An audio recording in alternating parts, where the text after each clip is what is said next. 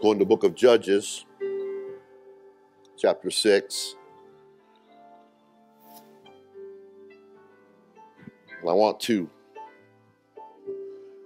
introduce you to what's possible if you will make yourself available. How many knows that when you go into prayer, he's right there? But can I invert that? How many times has he needed somebody? Are we available?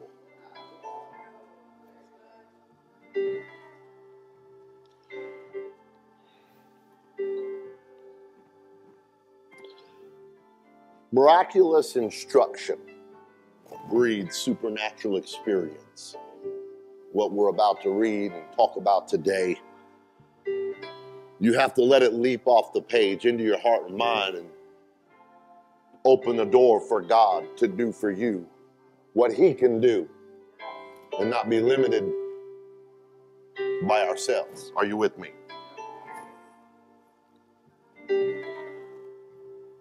Verse 6 And Israel was greatly impoverished because of the Midianites. And the children of Israel cried unto the Lord. And it came to pass when the children of Israel cried unto the Lord because of the Midianites, the Lord sent a prophet unto the children of Israel, which said unto them, Thus saith the Lord God of Israel, I brought you up from Egypt. I brought you forth out of the house of bondage.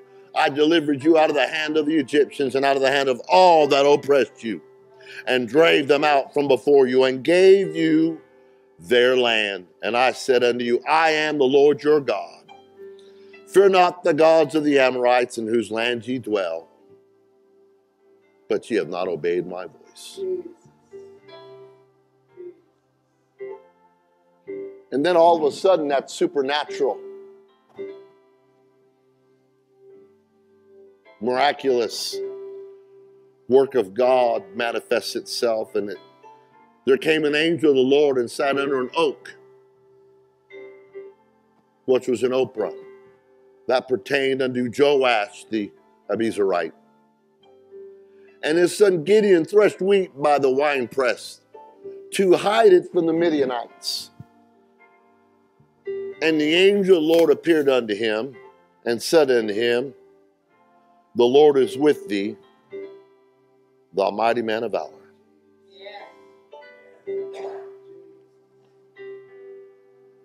Now, I know most of you have heard this story before, but it behooves you to know that there's something here for you today. If you won't just let this just be another service, you will get something from this today. Let's go before the Lord. Jesus, we need you. Help us. Allow your word to go forth into the fertile soil of our souls that we may truly glean a harvest in our walk with you, God. Speak to us clearly. Lord, allow me to bring forth this word under the anointing of your power. I don't want to waste anybody's time, God. But I'm praying right here, right now, for who this is for, God, that they will get it with both hands, with their whole heart and their whole mind. And everybody said, In Jesus' name. God bless you. You can be seated. I was really touched in the middle of this week, and I had tremendous amount going on, and right in the middle of the heat of everything, and this is how God works, He starts hitting me with this. And forgive me, I'll be transparent. I'm like, God, everybody's heard about Gideon. It's not new, it's not fresh, it's not revelatory. And I guess, and it's kind of strong, but I guess I got a, a little bit of a, a rebuke. So today I want to give context to the condition of God's people. Because if you listen to the final words that God breathed into this book, book of Judges, it says, In those days, Israel had no king. But it describes us today, it describes many people that have been around the things of God for a long time. And we start to take the will of God, the word of God, with a little tongue in cheek and we become kind of callous because it says, and everyone did what was right in their own eyes. I don't need leadership. I have no expectation. Well, with no leadership and no expectation leads to no victory and returning to bondage. Now, honestly, I'm going to use some bad words today. Words like obedience, words like submission, words like humility. But understand that even though this is an Old Testament story, the Lord saw fit to let us know, according to the book of Romans 15 and 4, for whatsoever things were written aforetime were written for our learning, that we through patience and comfort of the scriptures might have hope. Anybody, anybody have any hope today? Anybody know that you know God is so great that no matter your situation, He can do something? The reality of it is today is that it's up to each and every one of us to glean from Scripture what we have to have to grow in God, to improve today better than we were yesterday, to open the idea and become who and what God has called me to be. If, if, if an elderly man, 75 years old, can birth and be the father of many nations, if a young child can be born to save humanity, none of us in the wisdom and the power and the will of God are beyond the miraculous. First Peter 2 and 9 lets us know, but ye are a chosen generation, a royal priesthood, a holy nation, a peculiar people, that ye should show forth the praises of him who hath called you out of darkness and into his marvelous light. Understanding thou that as we open the book of Judges in chapter 6, God's people have been suffering oppression for seven years at the hands of the Midianites. Understand it was their lackadaisical attitude or just their pure disobedience that brought this on. The Midianites were so cruel that the Israelites were forced to leave their homes. And if you go back and read the story, for which I will not do because I'd like to get you out of here. You got time to get a nap to be back for tonight. But they were forced to leave their homes. The Bible says that they were living in dens and caves just to escape persecution. Each year at the harvest, the Midianites, along with their allies, would come in charging from the desert, cross the Jordan River, and take all the food and the grain that they could carry. And that out of spite would burn and not leave anything. You ever feel like your life just got burned out? You ever feel like you just never seem to get ahead? Seven years. I wonder how long it took for them to cry out to the Lord.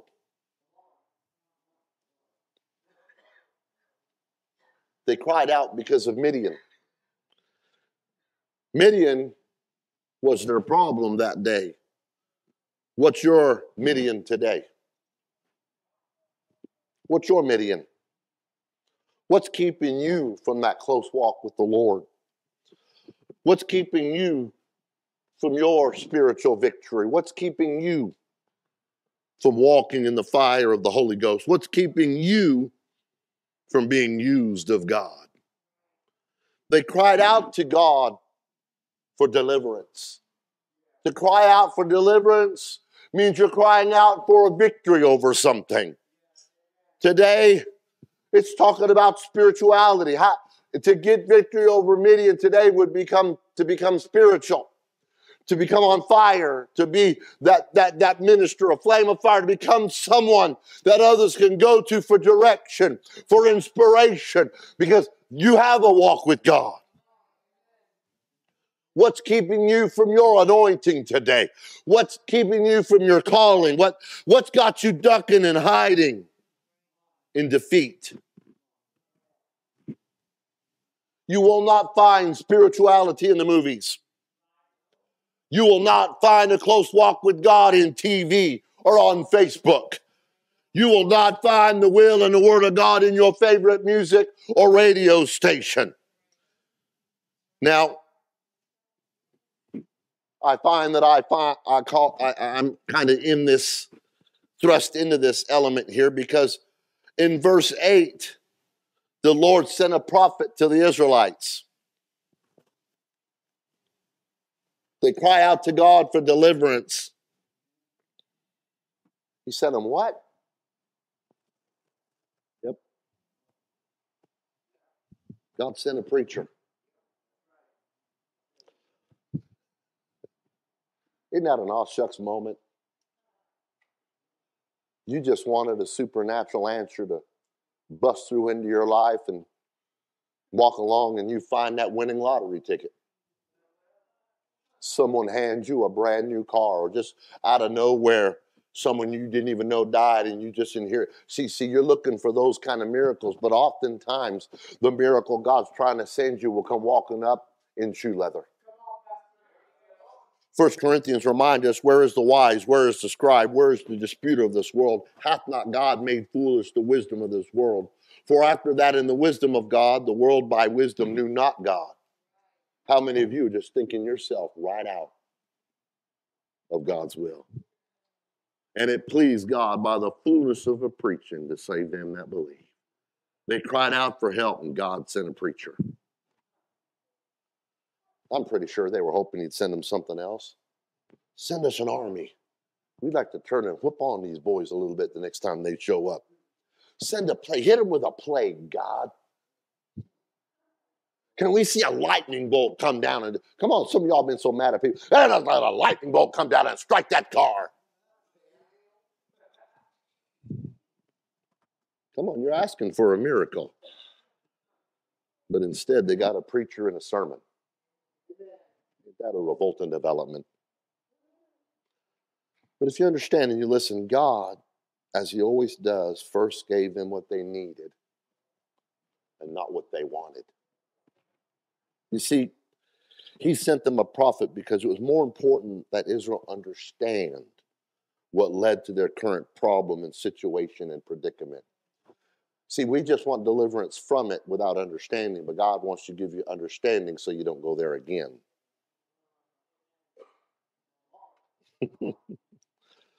Immediate deliverance wasn't as important as understanding. You see, at times, understanding a problem and how we got there is actually more important than eliminating the problem. He wants you to turn. A lot of times, we tell God we tell God to move. We ask God to move. Our prayer is asking God to do something. But most of the time, it's our turn. It's our turn that matters. Are you hearing me? We have to learn to turn to God. We're running from God with all our proclivities and all our desires and chasing all our things. And He's like, it's, it's not like I'm far away, but it's your turn. It's time to turn, folks. Turn to God means you're turning away from what has been keeping you from Him, what's been keeping you busy, what's been distracting you, what's been diluting you. Has God ever done that to anybody here tonight? Today? So we have an unnamed prophet, preacher, that delivers a message from God. this is what the Lord God of Israel says. God reminds his people of all that he had done for them in the past. You ever been in a conversation with someone and they got to bring up the past? It bothered a fire out of you? God doesn't mind reminding you and bothering you a little bit. Some of us have forgotten how far God has brought us. And we get a little outside of ourselves thinking, you think He forgot?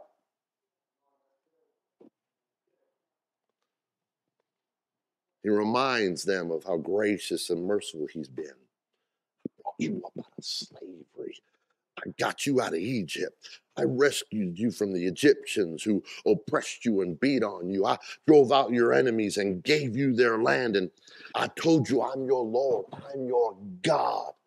God is reminding them, I've had a special relationship with you. I've been all in with you from the get go. I've done this, I've done that. I chose you. I made a covenant with you. I'm, I am your God and you are my people.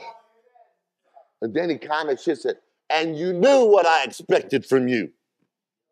Isn't that funny? Anybody got expectation from God today? I do. I do.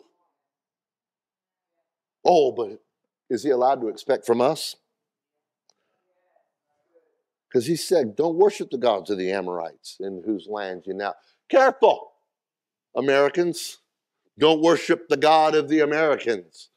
Don't wa- worship at the the opulence of America. Oh, you got the nice house and you got the nice car and you got the life insurance and you got health insurance and you got car insurance and you got anything and everything. You have need of nothing. And pretty soon you got a greater relationship with America than you do with the Holy One of Israel. You knew that God wants his relationship to be exclusive. That he was to be your only God, and you were to bow to no one or nothing except him. And he reminds him, but you didn't listen. You got all caught up. Sermon over. Altar call. There was no fluffy story to get appeal to your feelings. There was no emotional tug that was put out there to make you emotionally weep to compel you emotionally to an altar? Because when it comes to living for God, you're going to have to make a, a cerebral decision to say, I'm going to change my heart and I'm going to turn. I'm going to change what I've been thinking. I'm going to change what I've been in love with. I'm going to change what I've been doing. I'm going to change some things because it's my turn. It's my turn to turn. Now, the text does indicate what kind of effect the message had on the people, but the purpose was blatantly obvious to bring them to repentance. You know, this just ain't getting better, is it? First, I get told off. There's no emotional story to help me get in the state of mind that I need to be to repent. And then it calls me to repentance. Well, I don't feel like repenting right now. Preacher better do a better job.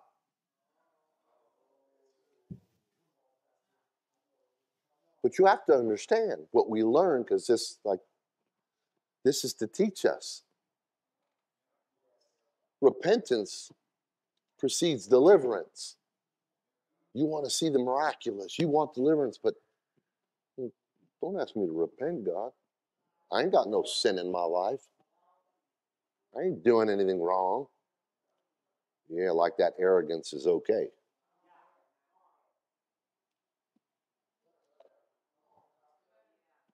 You see, you don't understand that thing that you shy away from, that thing that your arrogance, human, understand. Don't lose out with human arrogance because when this body dies, it'll be gone, trust me.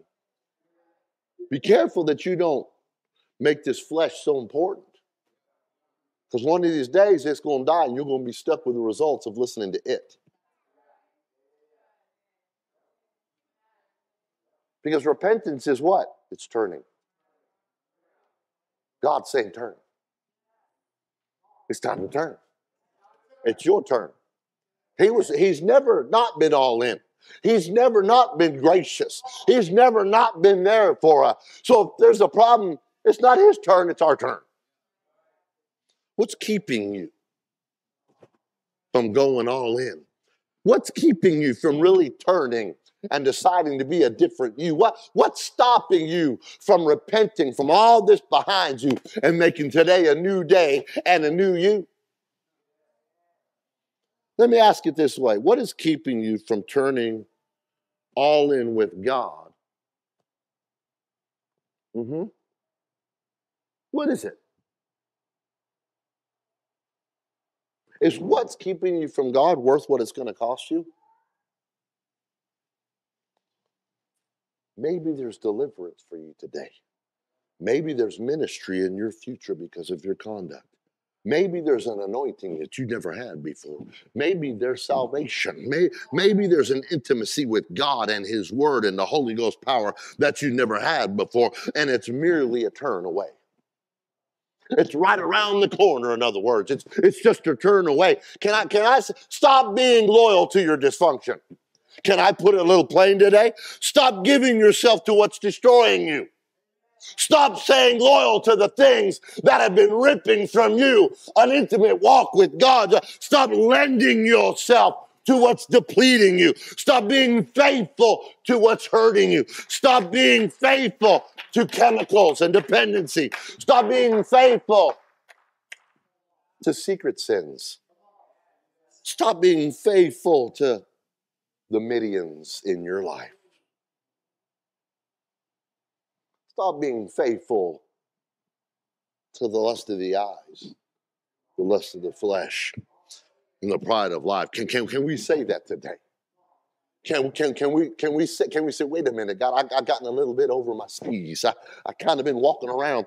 I, you, you got me out of the world, and now I wear a suit on Sundays, and who I've arrived now. I, I, you got me a good job, and we're set now, and everything's good. I, I, I, never, I, never, I never did anything or got the education to get where I am, but oh my God, I'm here. I don't want to take credit for that, God. So I want to break this story down a few If you were asked to list some of the common characteristics of a person who would be likely to be a hero or a deliverer, what kind of things would you list?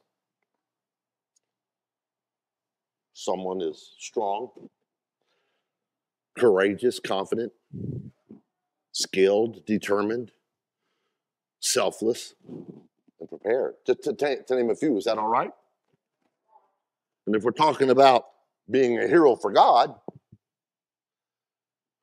probably have to add faithful to that list. Consistent, faithful. Are you hearing me? And you know, I, am not sure how many of us would list the following characteristics to be a hero for God, but fearful, bitter, insecure, stubborn, timid, inexperienced. But if you understand, as we will see as we look at Gideon's story, every one of those unlikely hero words could find themselves to describe Gideon when we first meet him. So, sometime after the prophet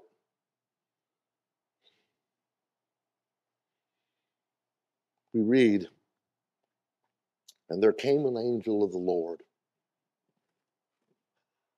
He sat under an oak, which is in Ophrah, that pertained to Joash the Abiezrite. And his son Gideon threshed wheat by the winepress to hide it from the Midians. Any time in the Old Testament when you see the expression angel Lord, it's called a theophany. It's a compound word made up of two words that mean to show God. And several times in the Old Testament, God would appear directly to an individual taking on a human like form, a form that, though visible, was not actually human flesh. So, okay, God is appearing to a guy named Gideon. And at this point, we, we don't know much about him, but some of the things I described we find were there because he's at the bottom of a wine press. What's he doing? He's threshing wheat. He's separating grain from the plant matter. The text says that Gideon was in a wine press threshing wheat. The, the Hebrew verb used here expresses the idea he's hiding. Where am I going with this? Just listen. A wine press was usually carved out of stone, and it normally had two cisterns or areas carved out, and one would be mm-hmm. slightly lower than the other, and often underground. The upper area was where they would pour in the, the grapes and tread out, tread on them, and as the liquid rose to a certain height, it would pour into the lower vat where the wine would be stored. And so here's Gideon in one of these giant cisterns threshing wheat. These things were large enough to where a man could be in there hiding. If you think mm-hmm. about it and you think about the context of what's going on here, he was probably in the lower one hiding to not only be physically hidden, but to hide the sound that he would probably be making. He did this so the enemies could not find him and take his food. Now, I've never threshed wheat before, but from what I read, from what I've learned, threshing wheat usually works best when you're out in the open and you got some wind helping you out. To thresh wheat, Brother Joe, you got to have wind. You see, trying to thresh that wheat without the benefit of the wind is going to take a lot of extra effort. It doesn't work very well. It, it probably was a pretty difficult struggle, and you probably only do just a little bit at a time. And I see an analogy here for the church. I see an analogy for some folks. Too many times the church tries to do the very same thing. You're a covert Christian. Nobody really knows you're a Christian because you're in hiding. You're hiding in your own version of the wine press, attempting to do God's work without the wind of the Spirit. How many folks are hiding out uh, without the power of the Holy Ghost in their life? How many people you show up and you go down into your secret hold because you really don't want anybody to take what you got? When's the last time you felt the mighty rushing wind of the Holy Ghost blow through your life to blow out the chaff and assist you in getting your life cleaned up, getting your attitude cleaned up, getting your spirit cleaned up so God could use you in a powerful way? Mm-hmm. Come on, somebody. Why don't you just go ahead in the quiet stickiness of this moment that this preacher with this unwelcome sermon without a gentle little story to prod you to the altar, turn to your neighbor and ask them, how long's it been since the wind of the Holy Ghost was working in your life? Go on, ask them. Little interaction today. How long's it been since you spoke in tongues? How long's it been since you found yourself yielded to God and allow the Holy Ghost to move through your life. Change your mind, change your attitude, change your thinking, change your heart a little bit. How long's it been? I tell you what, that was so sticky, ask him again. On, ask him. Ask him. You better hear me. I ain't up here entertaining nobody. God sent me to talk to somebody today. You, uh, uh, you better know what's on the line.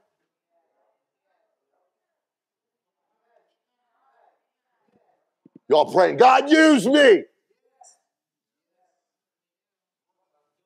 Are you ready to come out of your hole? Oh, God, I want to feel the power of the Holy Ghost. You ready to change your attitude? Oh, I want people to respect me. You ready to repent?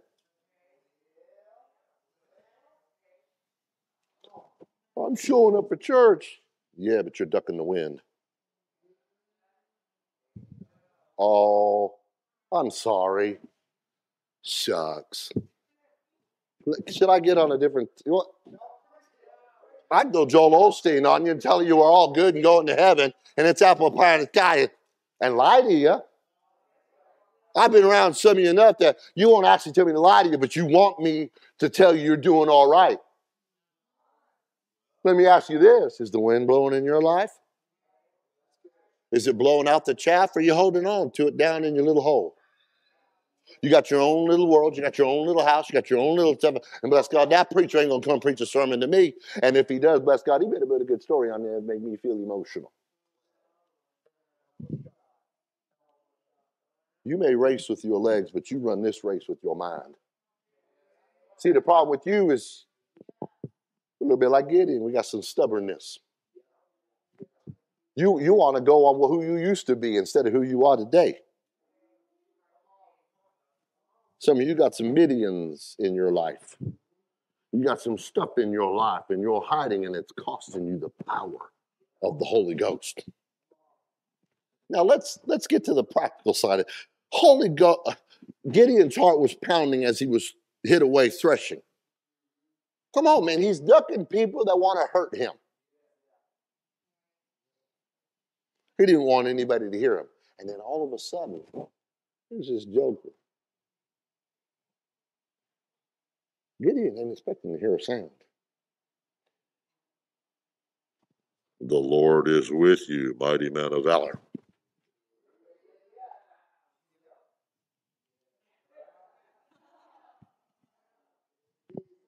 I know, I know some of y'all ain't heard God talking a long time because you got no more reverence about the things of God. There's no more trepidation. The Bible talks about those that trembleth at his word.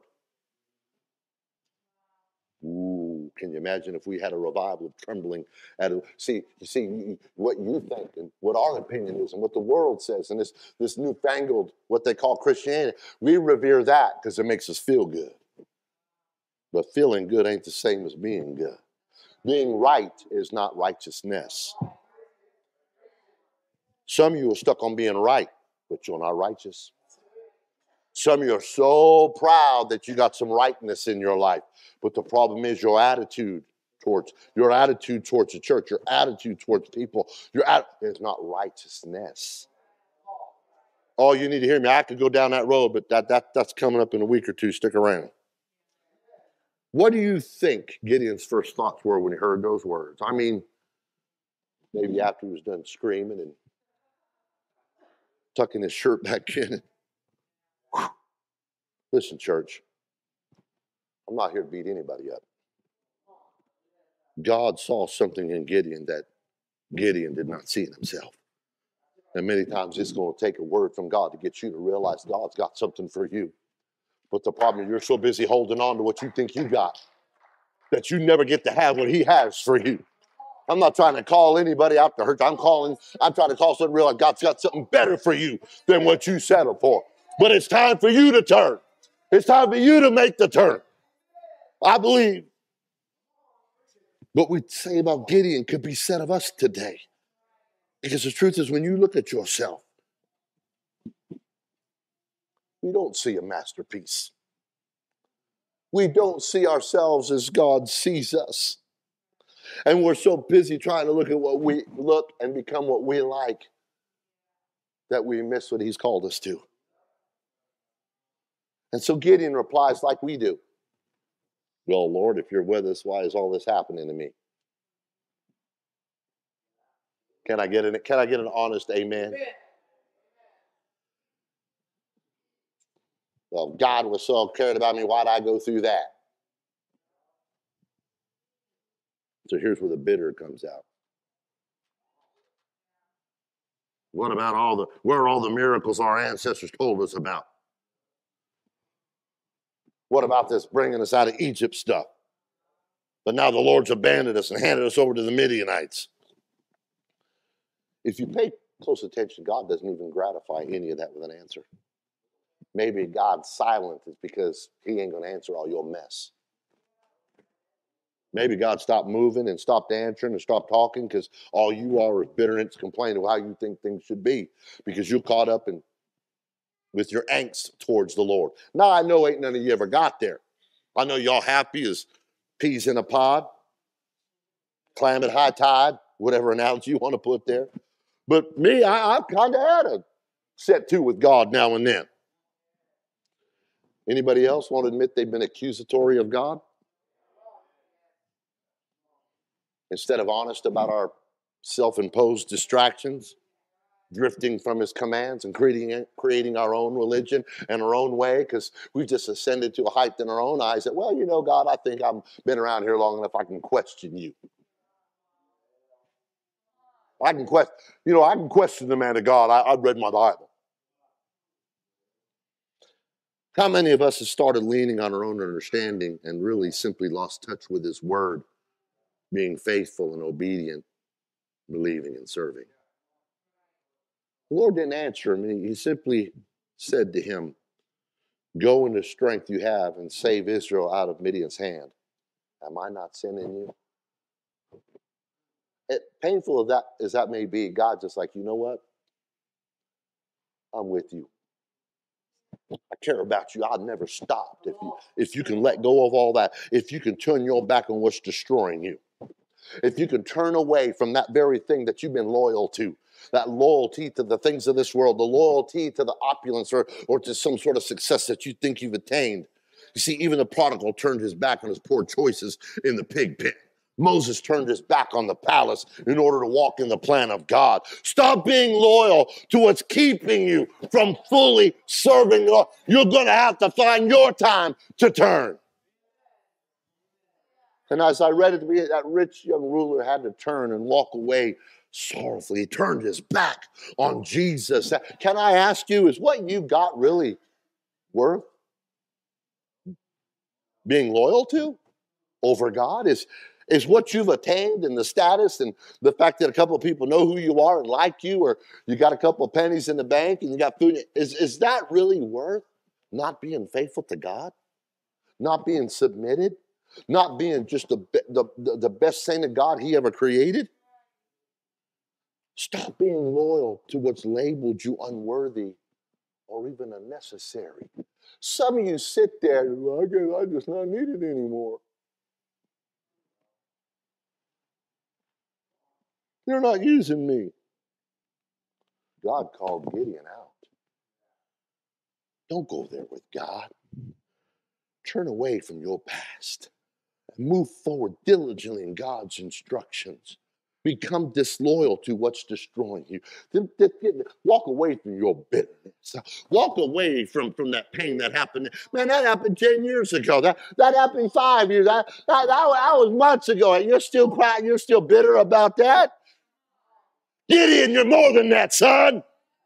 You're more than you think you are. Because when you're obedient to God,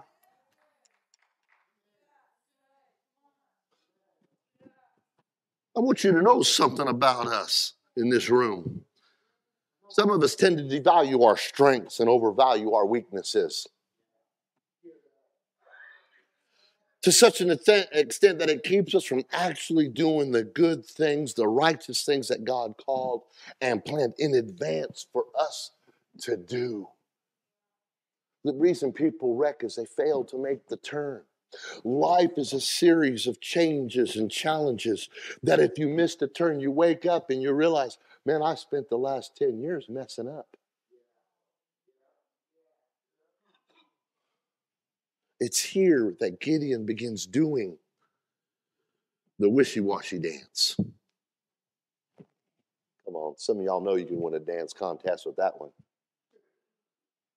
How can I help anybody? How can I rescue Israel? My family is the weakest in the whole tribe of Manasseh, and I'm the least in my family. I'm the least likely to succeed. What are you talking to me for?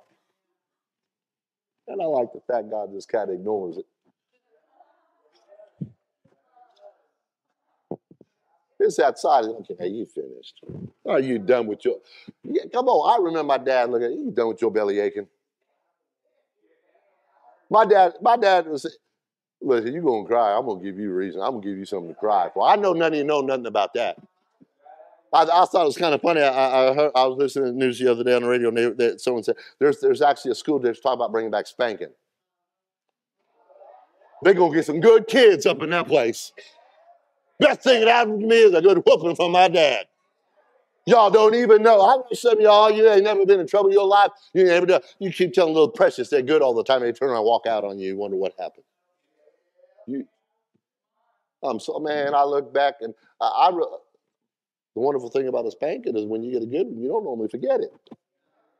I've had a few good ones in my life. I remember trying to run from my dad one time.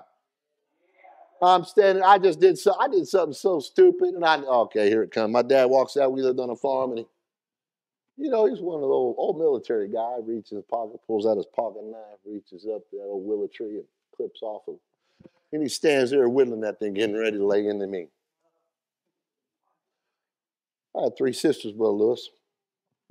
My oldest one is standing there. And you know, when you're a little kid and you got older, so you look at them like they know everything. She looks at me and said, Oh no, my dad knew how to give a whooping. And my, mom, my mom in Spain, my mom punched you. Sister Peaches, my sister goes, and I'm like, now you have to understand, that was pretty fast. And in my little pea brain, it sounded like good advice. Didn't think of that. We're outside. Man, I picked up left and right and I started putting them up and down as fast as I could. I just know I was doing road runner. I was flying. And I just kind of creamed my head back, and my dad is right on my heels. Oh, I'm like, wait, wait a minute. Who is the yank? Oh man, I go trying to take a corner and I'm trying to take that thing so sharp my legs fly off beneath me. I go sliding around the ground. My dad didn't miss a beat. He grabbed my scrawny little skinny little backside up. Oh, what? wait. Laid into me. You know what? I didn't get mad at my dad. I didn't get mad at that Willa. I looked at him. I said, Why you tell me to run? Some of us ought to be honest. And why did I tell myself to run from God? Why did I tell myself to? Why, you know what? I needed that whipping. I needed that stride. Some of us ought to come in and go, you know, I need a, I need a good whipping sometimes to get me lined up right so I can really do what God wants me. My dad never wanted to hurt me. He knew the direction I was going would hurt me way worse than any Willa. He said, I'm going to be with you, Gideon, and you're going to destroy the Midianites as if fighting against one man. What? I always love God's answer to the how can I stuff. As people, when they're asked to do what seems to be impossible in their eyes, this is God said to, to Moses hundreds of years earlier I'm going to be with you. Like he said to Joshua, as I was with Moses, so shall I be with thee. God says to Gideon, I'm going to be with you. Let me tell you something. God's whispering to someone today, I'm going to be with you. You make this turn, I'm going to be with you. I'm with you. You're going to defeat the Midianites as if you're fighting against one man. Understand, God with us is always the majority.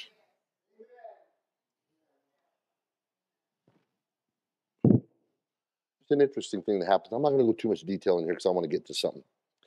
Gideon was basically replying, Well, okay, I need a sign that you're really going to be. It's really you speaking to me. Don't go away until I come back and bring my offering. Hold up, God, I'll be back. Wow. Go read it. You stay here. I'm going to go get my offering. I'm to go get my sacrifice. And Gideon runs off and did everything. Cooked the goat, made some bread, brings it back to where God was patiently waiting. I wonder how many of God just patiently waiting on us. Just put it on that rock. Gideon obeys. He's just doing it. God touches it, tip of staff. Flame fires up from the rock and consumes everything on the rock and just disappears. You know, Gideon had to start freaking out. You know, he had no cell phone to get. I got to get this on Facebook.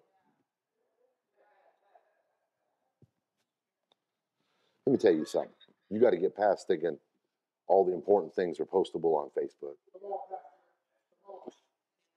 Some of you have diminished your life to nothing but momentary posts on Facebook. That's the epitome of your experience. Gideon realized this was the angel of the Lord, and he cried out, Oh, sovereign Lord, I'm doomed. I've seen the angel of the Lord face to face. Pretty much the same response that we get from Isaiah in chapter 6. The Lord says, Don't be afraid. You will not die. You have to understand something that that was a possibility in, in the presence of God. Gideon built an altar to the Lord there and named the place Jehovah Shalom, which means the Lord is peace. Later that night, God speaks to Gideon again. Wow, he's just got this whole conversation going. See what turning will do for you? See what turning does for you when you take the time to turn. When you, when you quit just making your weekly visit to church your only time and you get up day in and day out and you turn to the lord you're going to find that like god speaks to gideon he'll start speaking to you again. When you start laying aside all the things that you think are so important and make god important you're going to be surprised how much you're going to start hearing from him. And there was some stuff that gideon needed to take care of in his home before god would fully use him as a leader to deliver his people. Listen this is pretty cool stuff the night that night, the Lord said to Gideon, "Take, listen to this. This is important. You can easily read through it. Take the second bull from your father's herd, the one that is seven years old. Go read it. Throw down the altar of Baal that thy father hath cut, and cut down the grove that is by it." and build an altar unto the Lord thy God upon the top of this rock in the ordered place, and take the second bullock that one that's seven years old, and offer a burnt sacrifice with the wood of the grove which thou shalt cut down. You ain't moving forward till you cut down what's been in the way. And in fact, when you finally get rid of and you finally cut down and you finally remove, that's going to give you the fuel for your fire. How many years had they been oppressed by the Midianites? How old was that bull? Put down your father's altar, pull it down to Baal. Cut down that Asherah pole and rip it down. Think about this. Are you kidding me? In his own house, there was altars to pagan gods. Can, can we be real here? How many of us have built up things that are worshiped, revered, demanded, expected, and we push God to the wayside for when it's convenient for us. But it's in, all, in his own house. I wonder how long that'd been there. I wonder how long Gideon had worshipped at that altar. The real question is, is how many altars to other gods are in your house? How many things that have become more important and valuable to you than the presence of the Lord? You have to be honest spiritually with God. Your, your flesh may not want to or agree. But God is like, listen, after you rip that stuff down, here's what I want you to do. You build an altar to the Lord your God right here. You lay those you, you, you lay those stones carefully. You sacrifice that bull on the on, on the altar. You use the, the, the, the as fuel the wood from that pole that you just cut down. You want the power of God? Gideon, you really want the power of God? How, many really want the power of God back in your life? I, wonder, is there a saint of God here? See, I love it. Gideon, I want you to take the false gods that you and your family have been worshiping and use it as kindling for your sacrifice to me. That's the only God, oh, no, no, no, no, no, no, no. You, you, you, you want to move forward to me? Then I, I want that. God ain't playing. God ain't playing. So Gideon, two weeks later, a year later, 10 years late, no, that very night, that very night. See, that's just it. How many of us, will I'll get to it. I'm just not ready to let go of that yet. I just, you know, no, that's that's got a lot of value. I just can't just just that's you better hear me.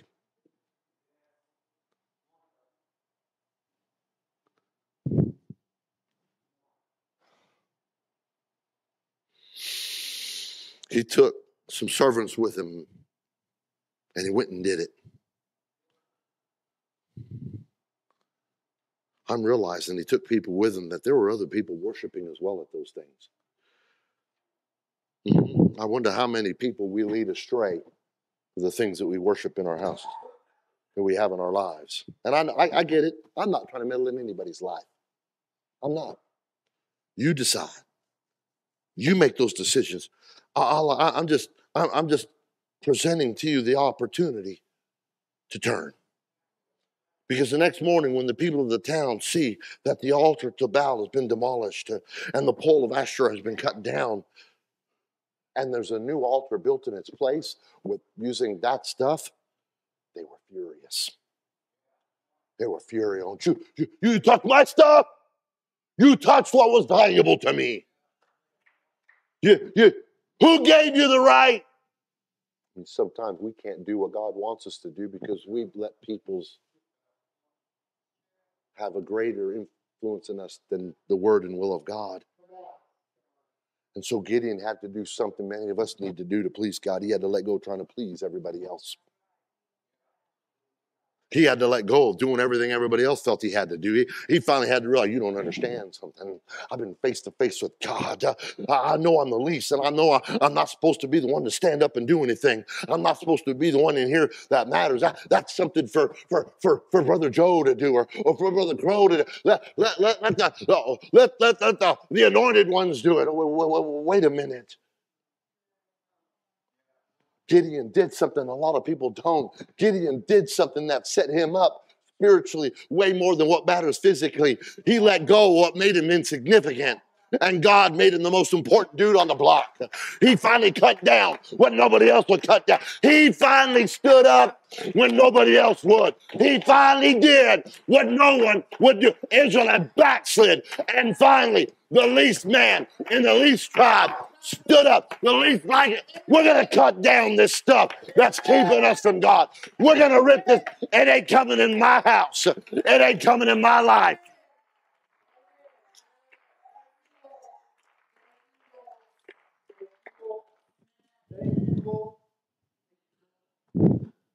Here's Gideon, the lowest guy on the totem pole, becoming one of the all time great leaders. That's what an encounter with God can do for you. That's what can happen when you finally get to the place with God. You find yourself at an altar and you say, It's time for me to turn. It's time for me to turn. Gideon is often criticized for fleecing God. I've done it. I preached it. That joker, that lily livered, limp back. Well, but let me say this you can't fleece God if you're not talking to Him. And you're not talking to Him unless you believe in Him. And, and if you're fleecing God and giving some things up, that means you're getting ready to trust. Gideon's greatest moment began when we became disloyal to what he used to be. If you can become disloyal to your yesterday, you got a great tomorrow. Oh, you got to become disloyal to what you used to worship, to what you used to make important. Letting things go often releases you, allowing you to go into something greater. So they find out it's Gideon who did this, and a mob forms. Come on, everybody's upset. They go to Joash, they go into his house. Send out your boy. We're killing him for doing this. Judges 6 30 and 31. Then the men of the city said to Joash, Bring out thy son, that he may die, because he hath cast down the altar of Baal. These are God's people wanting to kill a man of God who finally stood up and did what should have been done a long time ago. Gideon finally did what no man in the whole tribe had ever done. And they want to kill him. And Joash said, and all that stood against him, Will you plead for Baal? He finally, he, Gideon's dad, finally woke up and got a revelation. How many of us plead for stuff? Let that stuff plead for itself. Will you save him? Go save Baal. He that will plead for him, let him be put to death. If he be God, let him plead for himself because one hath cast down his altar. Joash basically shouted to the mob that confronted him, Why are you defending Baal? Will you argue this ungodly case? Whoever will plead this case, let him be put to death today, this morning. If Baal is truly God, let him defend himself and destroy the one who broke down. Come on, Baal, get up and kill Gideon. Isn't it funny we want to kill the Gideons? Pastor making me mad. He preaching about stuff. You got a, you got a teenager coming in your house saying, Come on, Dad, come on, Mom, let's turn that junk off. Stop drinking that, stop smoking that. We got kids that are wanting to live for God and parents holding on to their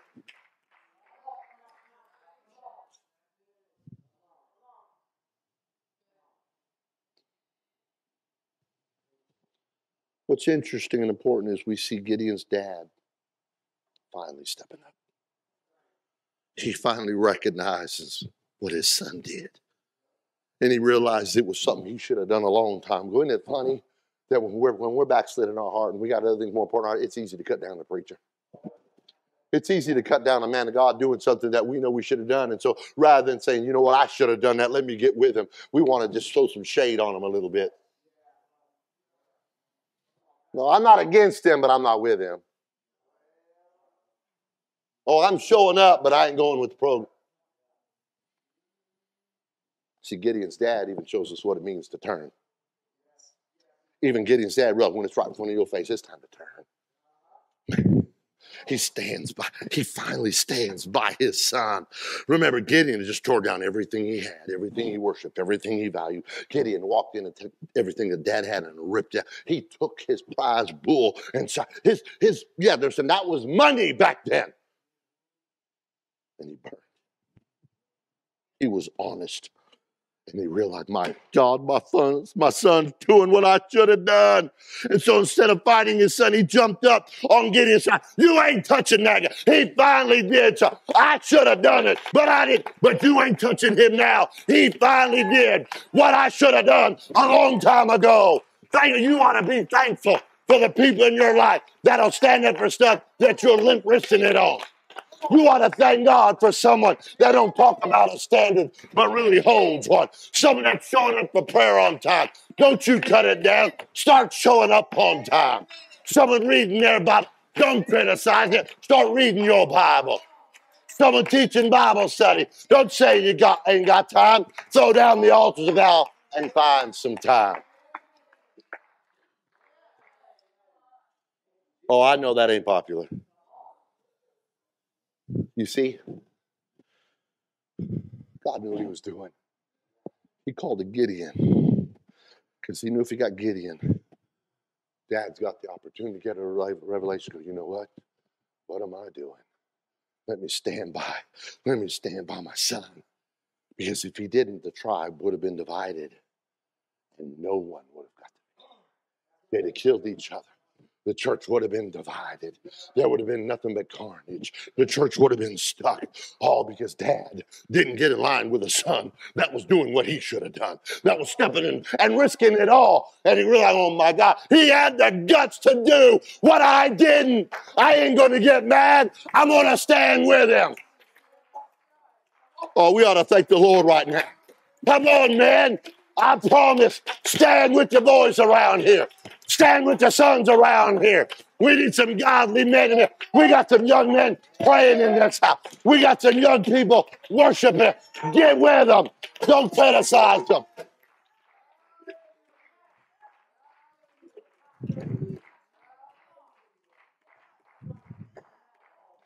Here's this father realizing being in unity with his son who was doing God's will was more important than anything he had ever done in his life.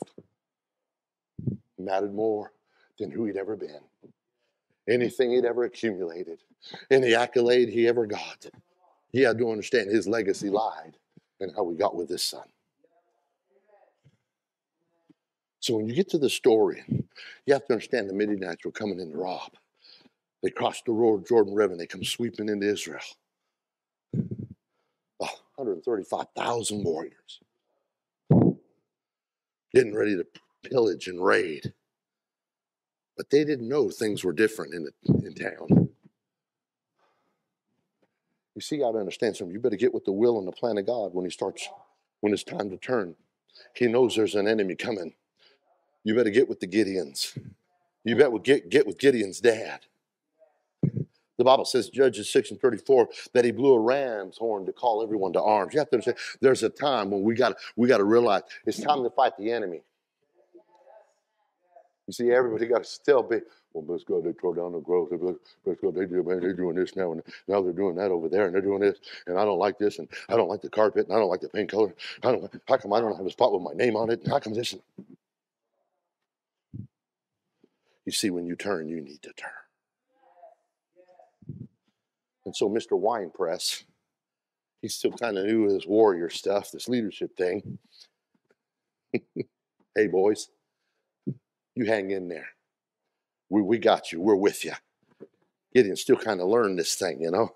He, he's still got all that practice in the wine press. He don't understand that. He's, he's doing this out in the open. It, we're going this way, guys.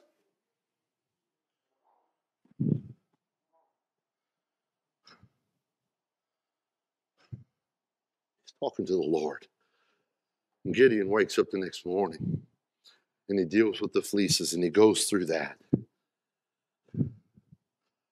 And he says to all our all powerful, ever patient, and aren't you glad, God? Please don't angry with me. I'm gonna do one more test. Now, now, now, now. I want the fleece.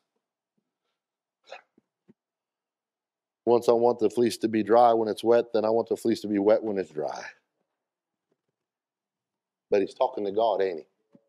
We got to allow people that have made that turn to find their bearings with God. See, Gideon is the leader and a very unlikely leader with a victory. What are some things that make a victory on a battle, battlefield more possible? Superior weapons and superior forces. Chapter 7 of Judges is where he wins his victory, but you have to understand it was with some pretty unusual and unlikely weapons. Gideon's army was 32,000 and it's about to face off against the Midianites and a coalition army of 135,000. I'm, I'm, going to go quick here. Gideon's army is camped at the spring of Harod, and the Midianite coalition was camped north of them in the valley near the hill of Moreh. Listen, God's people are outnumbered at this point, four to one. Now, those aren't good odds. So I'm sure Gideon was kind of concerned. Might have been looking Where's that wine press at? but his level's about to go up a few notches. Let me. You got someone with the guts enough to lead. Thank, thank you, Sister Erica, for for doing what you did today in the music. It's hard to just say, you know, I'm going to take a hold of this thing. And thank God for people that take on a Sunday school class. Thank God for that person to take on the youth department. Thank God for people who teach a Bible study and be. Thank God for those people that still. It's not always easy. And so the Lord spoke to you and said, "You know, there's just too many of you. Do we need to go back to that fleecing thing, God? Because, uh, excuse me, come again. I misheard you. You, you, we have too many. Too many of what? How, how can an army have too many when we're already outnumbered?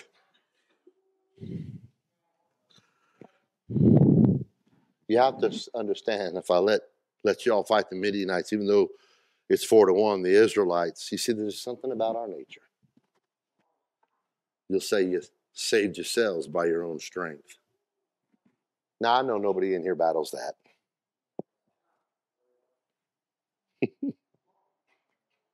Our God is very generous. I'm going to tell you there's something He's not going to share His glory.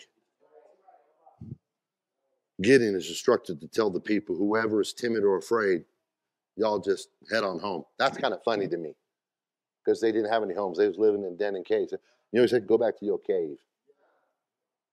The irony there is, you know what a wine press kind of looks like? Those of you, if you don't ever get a wine press experience, you're going to be going back to your cave. You're going to go back to who you've always been. You don't, don't, don't get mad at people that stepped out of the cave. You ought to say, you know what, man, they done it. They did like no, no, don't look down on someone that, that came out of drugs. They did it. Don't, don't, don't get up at someone who laid down cigarettes. They did it. Don't, don't get up at someone who come out of the world. They did it. You got to turn around and realize that God can do if you're willing to turn.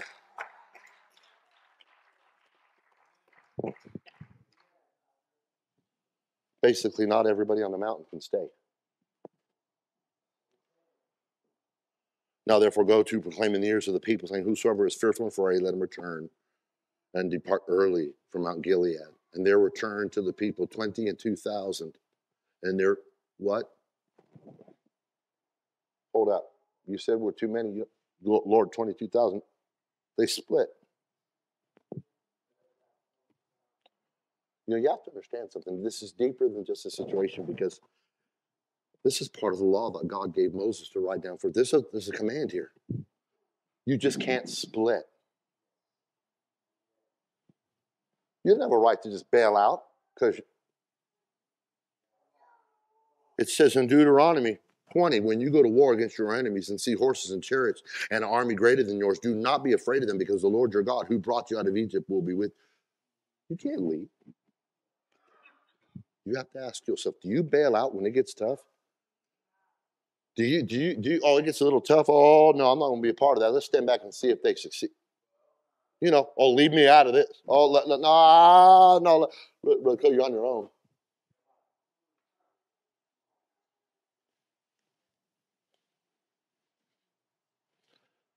Remove those carnal and fearful folks before it spreads. Are you hearing what I'm saying? He made an offer and 22,000 bailed out.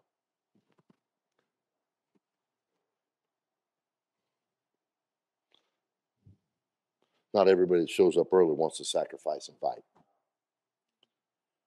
The crowd was gone, and now you have the courageous. Wait a minute. How do you think Gideon felt as he saw two thirds of his army leave? Discouraged, afraid, disheartened, disillusioned? Do you think he took it personally? I know my proclivities. Oh, yeah. I'll be seeing who's here tonight. I know I'll take it personally. How would you feel if you, you were doing something, you invite everybody over, and half of us don't come? How do you think those other 999 9,999 felt. They're watching. Wait a minute, guys. You already know where, where, where you're going. Well, you can't stand.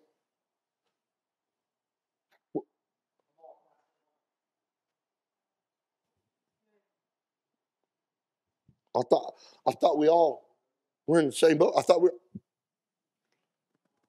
You see, the odds just went from four to one to three point five to one, and there are still too many men. Say what? What? What? Wait, did you just? Now I recognize the voice, but I don't recognize what you're saying. Come on, somebody. You, you, you get to that place with God, and next thing you know, He's asking you to more. Take them down to the water, and I will thin them out. Now, some people, let me tell you why I feel He did this, because I kind of feel like it's semantics, but exactly. The day you stop thinking that the little things that you do and don't do, they matter. Your thinking matters, your attitude matters, what you say, the little things matter. Oh, they don't even know if I'm not there. They don't even know. I'm not. Let me just give the pastor a little warm pat. That was a good little sermon. Oh, look, the little youth department.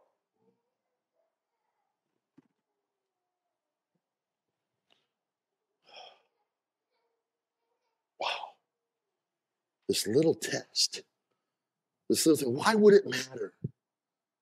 Let me tell you something. Who are we to say what matters to God when He's trying to get the right ones? God isn't just, just going to do it your way, He's going to do it His way. And the Lord told Gideon, It's with these 300 that I will rescue you and give you victory. See all these guys here? Send them home.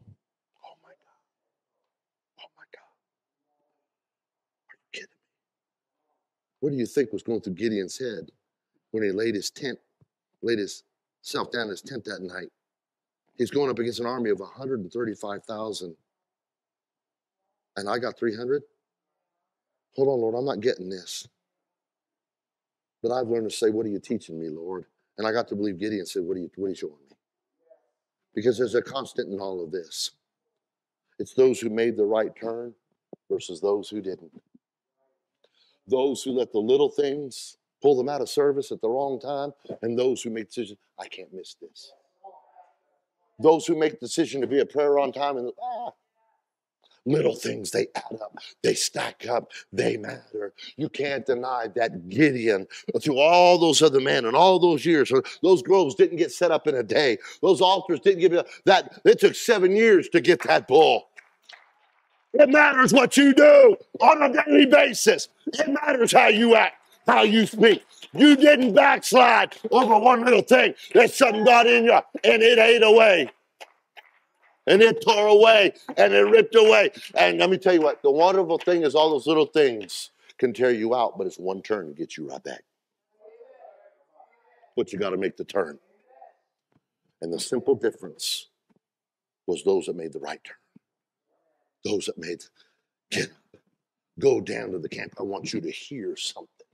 Take Purah and go down there and listen to what they're talking. If you could only hear how the enemy talks about those of you making the right turns. If you could just hear the enemy right now getting upset, get, shut that preacher up. Shut. Don't let him go to church with that message today. Don't let him tell someone that if they make the right turn, don't, don't, don't.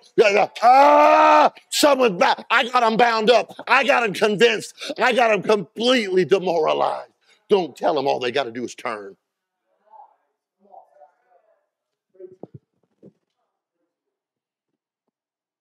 And he's listening, and you know what? We have a dream, but the enemy's got a nightmare.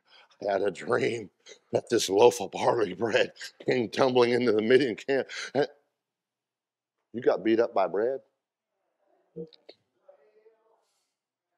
That's my God. I have dreams about lions and tigers and crazy things.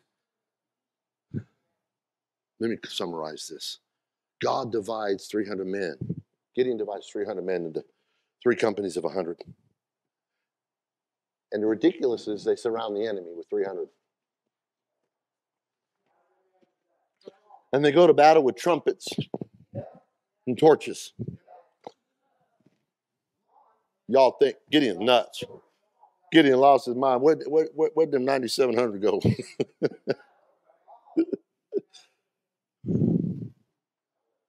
he signals these men to blow their trumpet, smash their jars, hold their torches in their hands, and shout for the Lord and for Gideon. Let me tell you something. We know the Lord's doing a work, but he's looking for a Gideon. I wonder if we got any Gideons here today. I wonder if we got someone here that you know what? If he can do it for Gideon. Is there anybody here that's ready for God to use you? Wait, wait, wait, wait. Okay, okay. Let's let, us let us go ahead and stand. I'm going to wrap this up. But let me give you some questions. Does God still need leaders? Does God still want victories to be won that'll bring him glory? Now, this is a little personal, and it might be presumptuous, but considering our conversation today, it's in order. Is there anyone in the room that wants to be a leader? Is there anybody in the room that wants to be a better disciple than they've ever been? Is there anybody here that wants to minister for God? Is there anybody here that wants to win some victories for God and for His glory and for His kingdoms? Now, now, now I don't know about you, but I can answer yes to every one of those. I believe God is still bringing victory to people, turning people's lives around, restoring people. Can I share with you what I learned? If God calls you and speaks to you, turn and listen. Yes. Don't run around and tell everybody else what they need to do. Go to your house and do what you need to do. Amen. Go tear down some junk. Get rid of the, start with the junk in your own life first. Don't, don't, don't go and think you're going to preach and bark to others when you got some altars that need to come. You, you, you got some idols in your own house, in your own life, there, things that are way more important than the house of God. Start with the junk in your own life first. Tear down any altars in your life that need to come down. Are there any poles of Asherah that need to cut down in your life? He'll walk with you, He'll be with you through every one of them. See, it's never been about what you have, but it's been about who is God in your life. It's not the size of the enemy or the obstacles that you face as an individual today, but it's in the presence and power of your God. Numbers are irrelevant to victory when God is on your side and you follow his plan. Someone, you need to get out of that wine press today. You need to stop avoiding the Holy Ghost and the altar. You need to come like you ain't come in years. You need to run over. God, I want to be used. I want back in the will of God like never before. I'm ready to stand with Gideon. I'm ready to stand with the kingdom of God.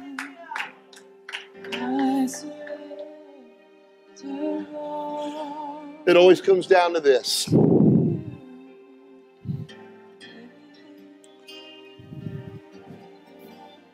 And I open this altar, will you turn towards God or turn away? See, because listen, I remember Lot's wife, we know turn back. But let me tell you what, there's way more that turn forward. I'm thankful for the Noahs, the Moses, the Daniels, the Ruth, the Elisas, the disciples, and Esther. All turn to follow the Lord. This altar's open right now. Will you turn? It's time for you to turn.